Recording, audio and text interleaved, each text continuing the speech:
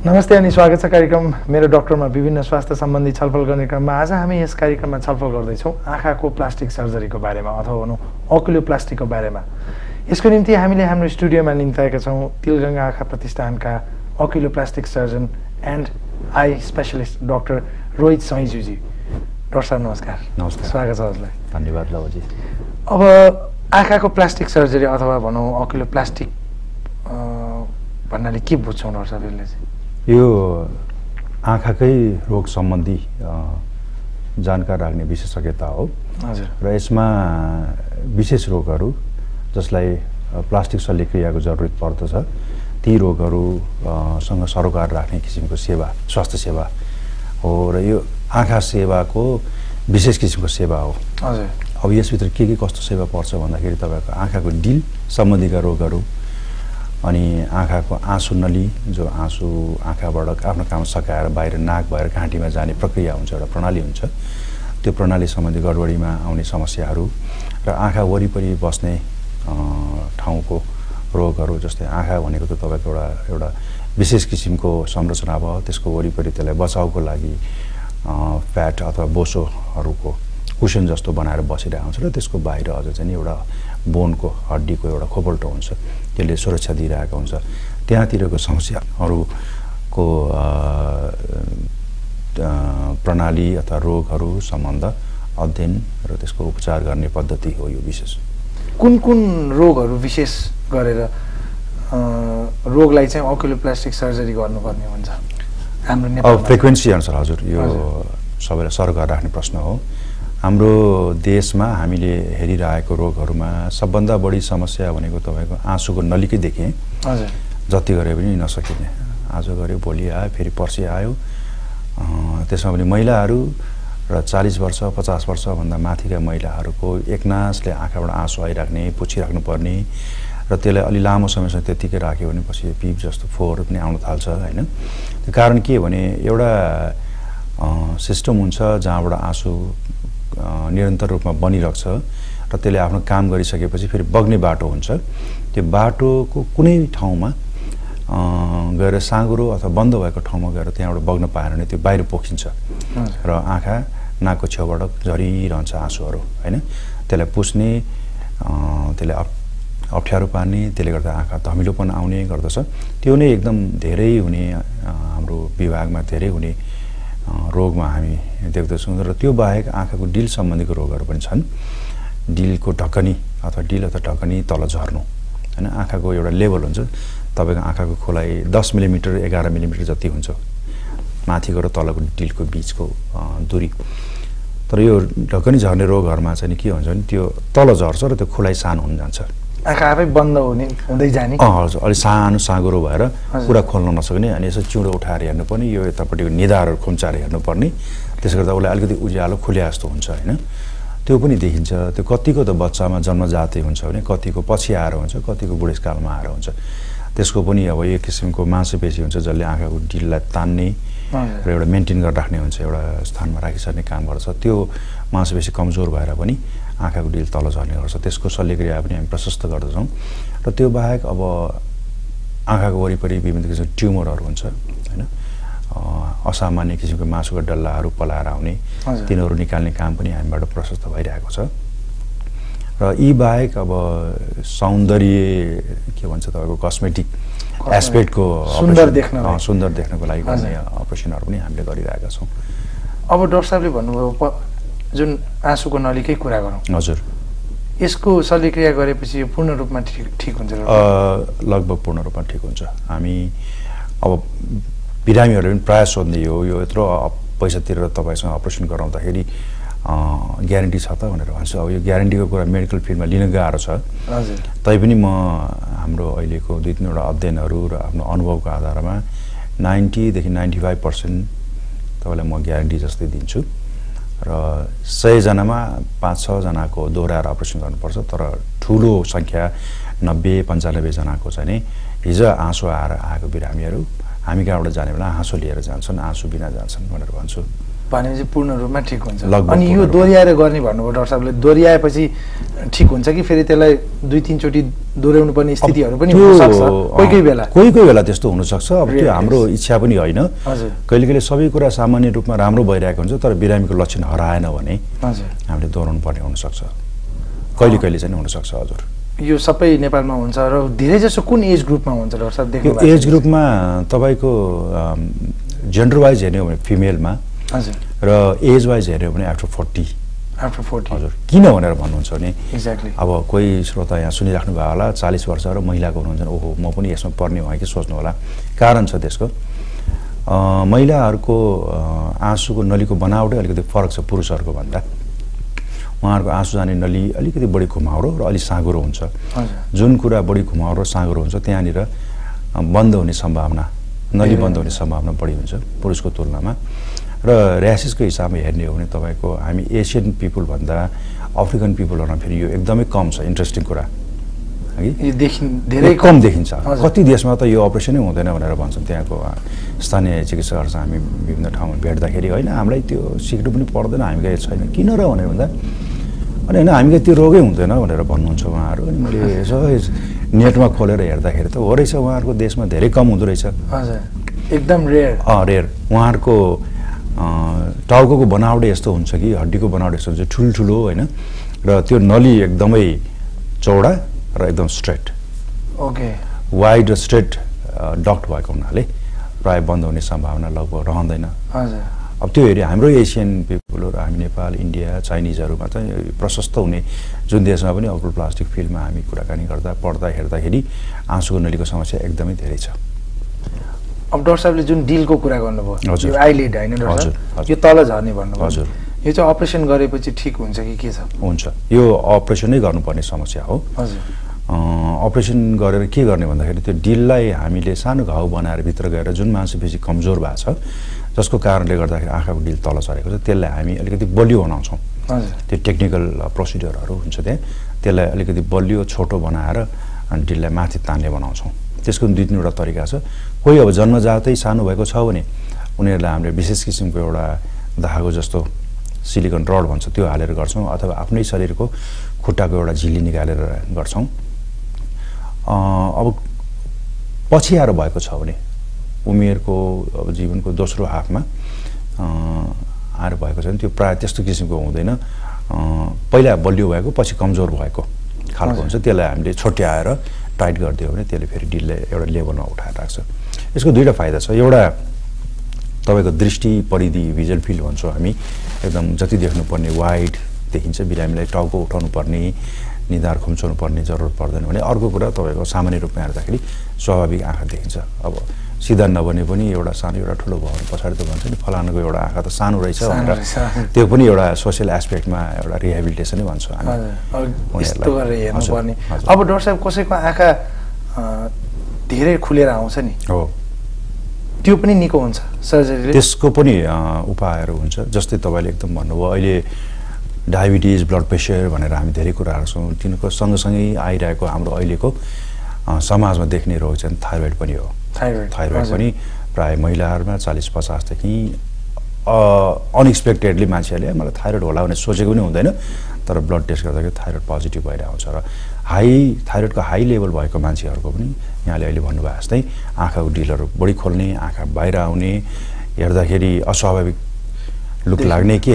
रिसाएको हो कि डराएको हो कि जस्तो लाग लाग्ने हुन्छ। त्यो चाहिँ सबै किनभने आँखाको डिल माथि तन्केर हाम्रो यो। नानीभन्दा माथिसम्म पुग्छ जसले गर्दा सेतो भाग देखिन्छ। त्यो सेतो भाग देखिनु भनेको त्यो रिसमा अथवा डरमा देखिन्छ त्यस्तो। त्यस्तो किसिमको हुन्छ। त्यसलाई पनि हामीले सामान्य शल्यक्रिया गरेर तल झार्न सक्छौँ। नर्मल उसमा ल्याउन सकिन्छ। ल्याउन सकिन्छ हजुर। अब डाक्टर साहबले अघि सौन्दर्यताको कुरा गर्नुभयो। हजुर। यसमा चाहिँ कस्तो?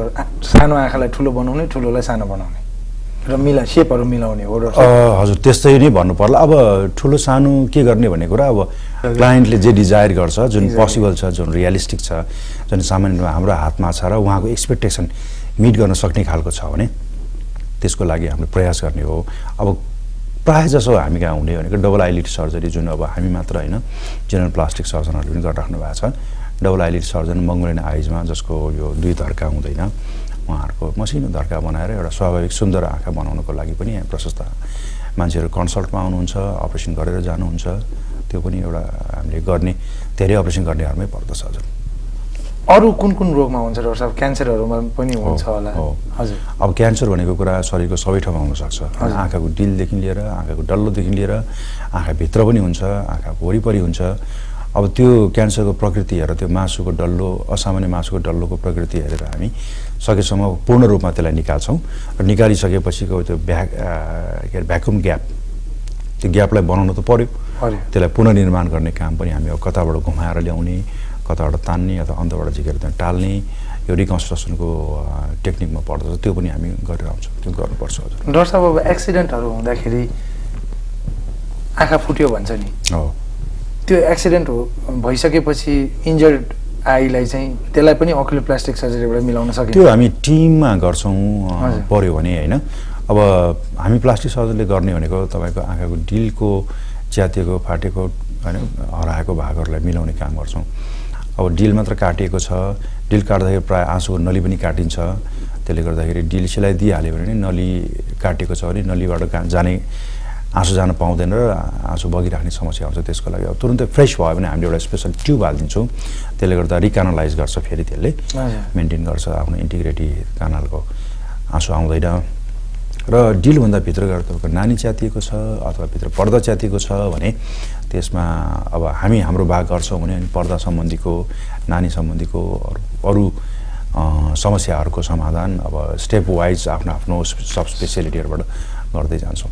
अब कति ठुलो चोट कति ठुलो दुर्घटना भएको त्यसमा भर पर्छ। अब मुख्य आँखा भनेको म भन्छु पहिला पनि भन्ने गर्थेँ सुन्दर आँखा त्यो हो जुन आँखामा दृष्टि छ।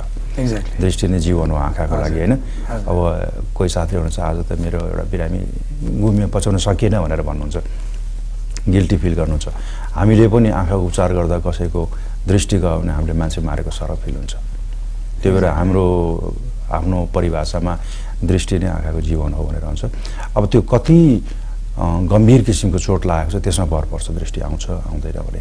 आयो भने राम्रो उहाँहरू पनि खुसी हामी पनि खुसी। आएन भने पनि पहिलो हतारमा हामीले के सोध्छौँ भने कसरी सबै कुरा सामान्य बनाउने दृष्टि पनि। आउने स्वरूप पनि राम्रो हुने भनेर। अब आउँदै नआउने कन्डिसनमा कति बेला त हामी आँखा निकालेर फाल्नुपर्ने हुन्छ। त्यो राखेर भन्दा निकालेको फाइदा हुन्छ त्यो बिरामीसँग बिरामीको भिजिटरसँग कुरा गरेर हामी त्यो रोग पद्धतिमा जान्छौँ। उपचार पद्धतिमा र त्यसपछि आएर अनि एक हप्ता दुई हप्तापछि अब दृष्टि त नघुम्ने भयो नहुने भयो। कमसेकम यो आँखा अरूले देख्यो भने पनि नराम्रो नदेखिने बनाउन सकिन्छ कि भने त्यो सेकेन्ड अप्सन फिलिङ आउँछ मान्छेहरूलाई। हजुर। अनि त्यसलाई हामीले अब एउटा सोसाइटीमा मान्छेले सामान्य आँखा जस्तो देखाउनलाई एउटा रिहेबिलिटेसनको प्रोसिडियरमा जान्छौँ। त्यहाँ नक्कली आँखा बनाउने नक्कली आँखा बस्ने ठाउँ बनाउने भोल्युम फिलअप गर्ने यी सबै कुराहरू पनि अब प्लास्टिक फिल्डमै पर्छ। भनेपछि यो जुन नक्कली आँखा भन्नुभयो डाक्टर साहबले यो थाहा हुँदैन हेर्दाखेरि चाहिँ। झट्ट हेर्दा थाहा हुँदैन। आँखा। खुल्छ बन्द हुन्छ अलिअलि चल्छ पनि होइन? तपाईँको बाँकी भएको अर्को आँखा छ नि नर्मल आँखा त्यसैको हामी कपी गर्छौँ। कपी गर्छौँ। भने त्यो अर्को फिल्ड छ अकुल्यारिस्टी भन्ने जसले तपाईँको आँखाको आकार प्रकार स्वरूप रङ साइजहरू सबै ठ्याक्क त्यो डिटो बनाउँछ। ओके। भनेपछि थाहा हुँदैन त्यति। लगभग थाहा हुँदैन। थाहा हुँदैन। यो नेपालमा हुन्छ। अब यो गर्छौँ। अक्युलोप्लास्टिक सर्जरी कतिको एक्सपेन्सिभ छ डाक्टर साहबले अब भन्नुभयो यो जुन आँखाबाट आँसु आउने डिलहरू मिलाउने। यिनीहरू अब यो उपचारको समय र उपचारको गम्भीरता होइन जटिलता हेरिकन हेर्ने हो भने यसलाई महँगो भन्नु हुँदैन अब महँगो कुन छ कोसँग दाँजेर गर्ने भन्दाखेरि अब विदेशमा दाँदाखेरि त हामी धेरै सस्तो उपचार हुन्छ नेपालको कुनै पनि फिल्डको। ट्रिटमेन्टहरू धेरै चिप छ होइन। तर अब आँखाकै अरू रोगहरूको शल्यक्रियासँग दाँच्ने हो भने यो आफ्नो ठाउँमा ठिकै जस्तो लाग्छ। महँगो छैन। धेरै महँगो चाहिँ छैन। ड्राई आइज भन्छ नि डाक्टर साहब जस्तो। आँसु आउने त बेसी आउने। भयो। आँसु नै नआउनेलाई पनि मिलाउन सकिन्छ। आँसु नआउनेलाई चाहिँ त्यो ड्राई आइज हामी अब सहरमा बस्छौँ ठुला। सहरमा होइन। त्यहाँनिर अब पल्युसन अब डस्ट आदि इत्यादिले गर्दा ड्राइनेसले गर्दाखेरि र हाम्रो अर्को चाहिँ कम्प्युटर वर्किङ हजुर। हामी कम्प्युटर प्रोग्रामर केही पनि होइन तर सामान्य मान्छेले पनि दुई घन्टा चार घन्टा कम्प्युटर डेली चलाउनै पर्छ आजभोलि। अनि कम्प्युटर चार पाँच घन्टा चलाउँदाखेरि पनि ड्राई आई हुन्छ। ड्राई आईमा के हुन्छ भने तपाईँको आँखाको खुलाइ धेरै हुन्छ र आँखाको झिम्काइ कम हुन्छ। त्यसले गर्दाखेरि आँखामा सोखापन देखिन्छ। अब आँखाबाट आँसु धेरै बनाउने त्यस्तो खासै इफेक्टिभ औषध त छैन। छैन र आँखामा जति आँसु चाहिने त्यो कमी भएकोमा हामीले आर्टिफिसियल टियर्सहरू युज। गर्छौँ हजुर। त्यो विभिन्न अब आफ्नो सिभिरिटी हेरिकन। विभिन्न ब्रान्डको विभिन्न कम्पोजिसनको हुन्छ। त्यही नै हो। त्यही हो अनि अर्को अलिकति आफू बसेर काम गर्ने ठाउँको एडजस्टमेन्टहरू गर्न सकिन्छ जस्तै अब बाहिर जाने बेला स्पेक्स यो स्पेसली एयर टाइट सिल्ड भएको स्पेक्सहरू साइड सिल्ड भएको स्पेक्सहरू भयो अनि र आई ड्रप्सहरू अनि कम्प्युटरको सेटिङ गर्दाखेरि आफ्नो आई लेभलभन्दा माथि हेर्नु तल अथवा सेम लेभलमा एयर कन्डिसनको सिधा अगाडि फ्यानको सिधा अगाडि हिटरको सिधा अगाडि नबस्ने लामो समयसम्म काम गरिरहँदाखेरि इन्टरभल दिने तपाईँको होइन। साठी मिनट इन्टर के अरे कम्प्युटरमा बस्यो भने साठी सेकेन्डको लागि तपाईँ ब्रेक जाने साठी मिटर टाढा हेरेर भन्छ क्या त्यस्तो रुल नजिक मात्रै हेरेर राख्ने बिचमा ब्रेक गरेर टाढा टाढा पनि जसले गर्दाखेरि। आँखाको थकाइ कम हुन्छ आँखाको सुक्खापन कम हुन्छ। इन बिट्विन तपाईँको ड्रप्सहरू हाल्ने। यिनीहरू नै अब कुनै अपरेसन गरेर अथवा कुनै औषधि खाएर आँखाबाट आँसु प्रशस्त बनाउने त्यस्तो चाहिँ नि खासै एकदम भएको त्यस्तो। डेभलप भएको छैन हजुर अब डिँडोपन हुन्छ नि डक्टर हजुर। त्यसलाई ओक्युलोप्लास्टिक सर्जरीले मिलाउन मिल्छ कि मिल्दैन मेरो अस्पतालमा चाहिँ त्यो मैले गर्दिनँ हामीले गर्दैनौँ हाम्रो डिपार्टमेन्टले गर्दैन हजुर। डेढो आँखा सम्बन्धीको छुट्टै नै डिपार्टमेन्ट डिपार्टमेन्ट हुन्छ तर ओक्युलोप्लास्टमा परेन अ, कहीँ कहीँ गर्छन् कुनै। कुनै इन्स्टिट्युसनहरूमा अथवा अरू देशहरूमा। तर यो बच्चाहरूको आँखाको रोग हेर्ने डक्टरहरूले नै यो स्क्रिनको करेक्सनहरू गर्नुहुन्छ भनेपछि बच्चामै गर्नु पर्यो स्क्विड चाहिँ। ठुलो भएपछि अचानक डेढो त हुँदैन नि आँखा हुन्छ हुन? पनि सक्छ। हुनु पनि सक्छ। हजुर। ओके। त्यो नसाहरू प्यारालाइसिस भयो जुनले आँखालाई ब्यालेन्स गरेर राख्ने मसलहरू प्यारालाइज भयो भने। तपाईँको आँखा एउटा डिरेक्सनमा गएर डेभिएट हुन्छ। अब Okay. त्यस्तो बेलामा पहिला अब नसाको के कारणले समस्या भएको हो त्यसलाई ठिक गर्नु पऱ्यो र त्यो ठिक नहुने भयो भने अनि अपरेसन गरेर सिधा गर्ने। अब जन्मजातै आँखा डेढो भएको बच्चाहरू छ भने त उनीहरूलाई हामीले सिधा बनाउनुपर्छ बच्चामै गर्नुपर्छ। ओके बच्चामै गर्दाखेरि तपाईँको दृष्टि पनि आउँछ सिधापन पनि हुन्छ। भनेपछि अब अहिले बच्चाहरूलाई विशेष गरेर हजुर। लडेर आँखामा घाउ चोट लाग्यो भने त्यो रिपेयर गर्न सकिन्छ। सकिन्छ। त्यो गर्नै पर्छ त्यो। गर्नै पर्छ। घाउ चोट लाग्यो अहिले नगर्ने ठुलो भएपछि गर्ने भनेर भन्नुहुन्छ त्यो होइन त्यो बच्चामै गर्नुपर्ने नपर्ने एक्चुली अब रोग हेरिकन हुन्छ तर प्रायः जसोलाई गर्नुपर्छ त्यो गर्दाखेरि नै बुद्धिमानी हुन्छ। पछिसम्मलाई राम्रो एकदमै। हो।